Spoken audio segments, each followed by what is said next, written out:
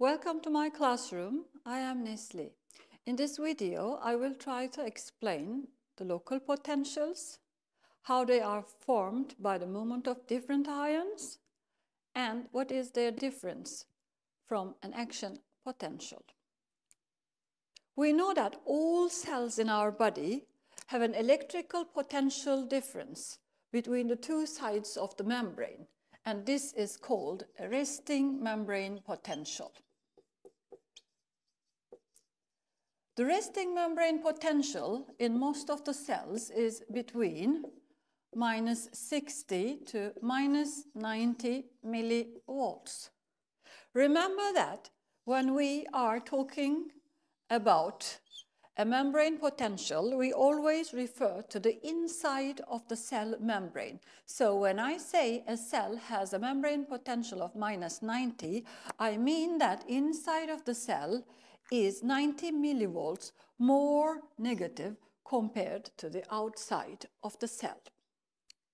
So the resting membrane potential is present in all of the cells, but only some cells in the body are able to change their resting membrane potential to produce new membrane potentials. These cells are nerve cells, muscle cells, and some endocrine cells like the cells of the pancreas. The cells that are able to change their resting membrane potential are called excitable cells. So the excitable cells are able to produce two new, two different types of these potentials. What are they? These are local potentials and action uh, potentials. Let us try to understand the local potentials by giving examples from a cell by numbers and by special ions.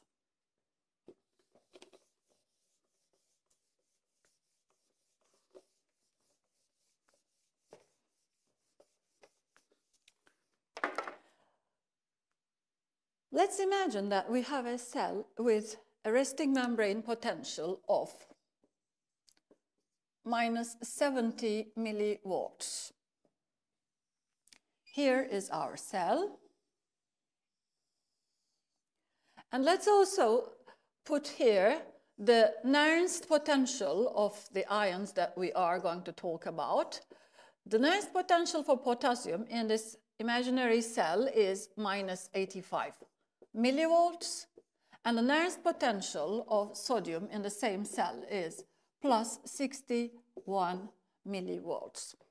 We know from our video about resting membrane potential that a cell with minus 70 millivolt resting membrane potential and these Nernst potentials that are written on the board has many leak channels for potassium and a few leak channels for sodium when the cell is at rest. We know that leak channels are not the only types of channels that are present on the membrane of the cells. We also have the channel group which are called the gated channels. And we know that there are three types of gated channels. One is the chemical or ligand gated channels. Two is the mechanically gated channels. And three is the voltage gated channels. So if these channels, oh, so if we have a look at the channels all together, leak channels are basically responsible for the formation and maintenance of the resting membrane potential. On the other hand, we are going to use the ligand-gated or mechanically gated channels for the production of the local potentials. Now let us try to give examples about this what is going to happen if some ligand-gated potassium channels open in our cells in this example. We know that now we are going to have many leak channels plus ligand-gated potassium channels in addition to them. And the number, if you follow it, the number of the potassium channels are going to be very high in this cell. Let's have a look at the electrical and the chemical forces.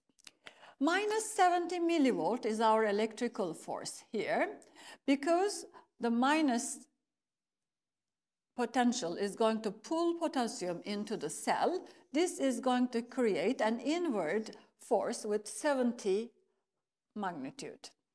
What about the chemical force here? The chemical force is the force created by the concentration difference of potassium and it is equal to the amplitude of the Nernst potential. So the concentration gradient of potassium will be pushing potassium by a force of 85 out of the cell. If you have a look at the net force, the net force is going to be something like 15 and it will be pushing potassium out of the cell through the many leak channels and extra ligand-gated potassium channels that are present now on the membrane. The, what is the result of this? The result of it is that more potassium will be moving out of the cell and this is going to cause an increase in the inner negativity. Or we can say it is going to make the membrane potential more negative. If you uh, follow me, you are going to see that I'm no longer calling it a resting membrane potential. Now it is basically a local potential and it's a membrane potential. With the movement of potassium outward, the membrane potential will become more negative and it will move towards the Nernst potential of potassium, which is 85, minus 85 millivolts.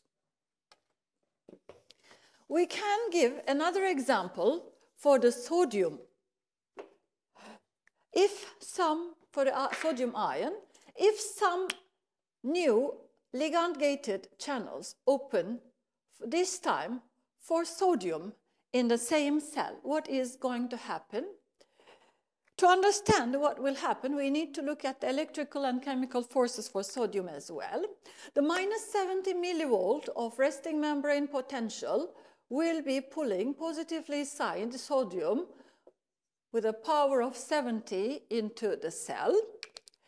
The concentration gradient of sodium is also into the cell and then it will be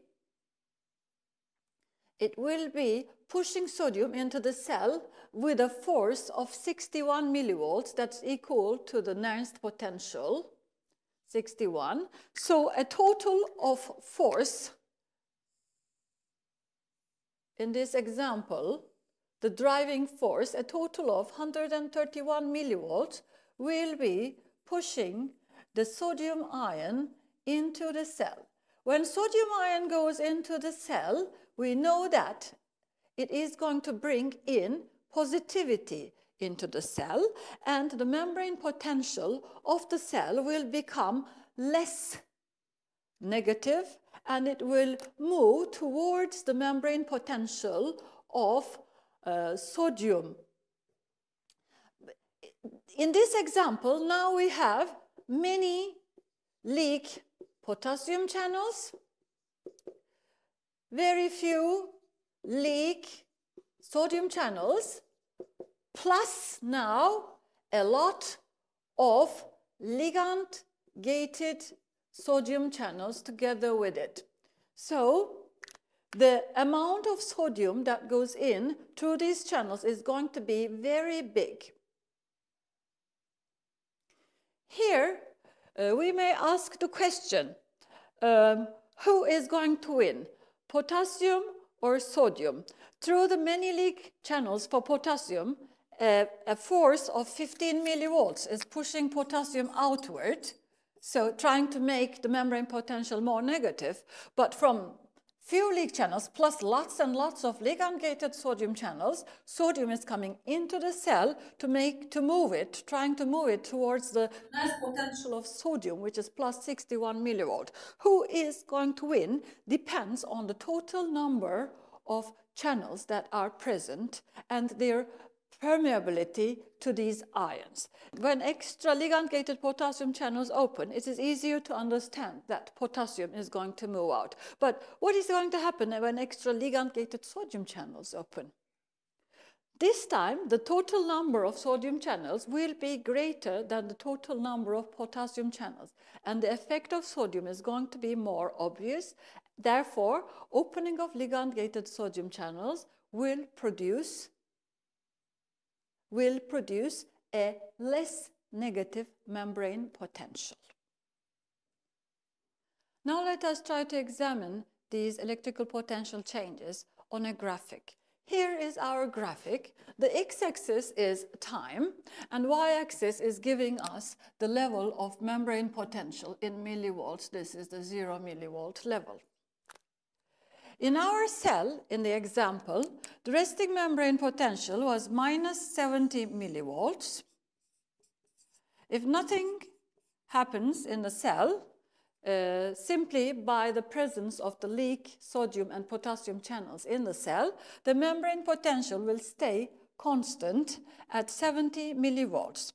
If some ligand-gated sodium channels are opening and the number of open sodium channels increases, this number is equal to the ligand-gated plus the leak sodium channels. What is going to happen? Sodium is going to move into the cell and the membrane potential is going to become less negative.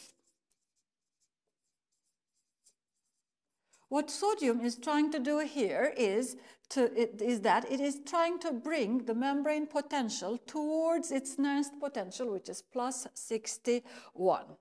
This type of potential change in a cell has a special name, and this is called a depolarization.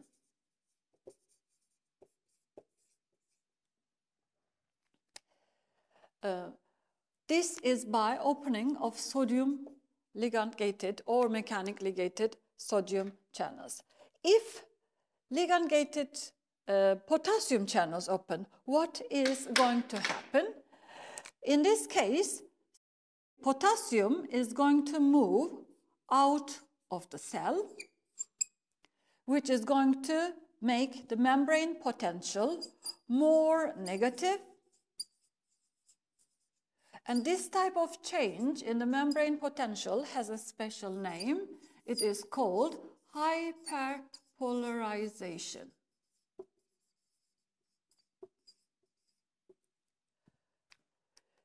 So this way we have seen that there are two types of local potentials that can form. The local potentials can make the membrane go depolarizing or they can make the membrane membrane go hyperpolarizing. Uh, potassium is moving out and this way it is trying to bring the membrane potential towards its Nernst potential. Sodium is moving into the cell and this way it is trying to bring so the membrane potential towards the Nernst potential of itself. What about chloride? Chloride is a little bit different and uh, in different cells. So uh, let's examine it in a separate way.